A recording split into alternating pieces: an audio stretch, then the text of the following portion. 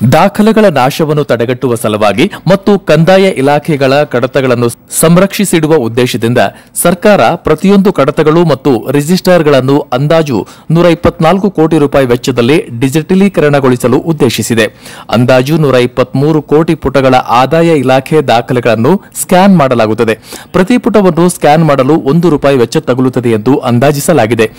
ವಿವಿಧ ಕಂದಾಯ ಇಲಾಖೆ ಕಚೇರಿಗಳಲ್ಲಿನ ಹಕ್ಕುಪತ್ರಗಳನ್ನು ಗಣಕೀಕರಣ, ಸ್ಕ್ಯಾನ್ ಮತ್ತು ಡಿಜಿಟಲೀಕರಣಗೊಳಿಸಲು ನೂರ ಇಪ್ಪತ್ನಾಲ್ಕು ಕೋಟಿ ರೂಪಾಯಿ ವೆಚ್ಚದ ಪ್ರಸ್ತಾವನೆ ಸರ್ಕಾರಕ್ಕೆ ಬಂದಿದ್ದು ಪರಿಶೀಲನೆ ಹಂತದಲ್ಲಿದೆ ಎಂದು ಕಂದಾಯ ಸಚಿವ ಆರ್ ಅಶೋಕ್ ಅವರು ವಿಧಾನಸಭೆಯಲ್ಲಿಂದು ಲಿಖಿತ ಉತ್ತರ ನೀಡುವ ಮೂಲಕ ತಿಳಿಸಿದರು.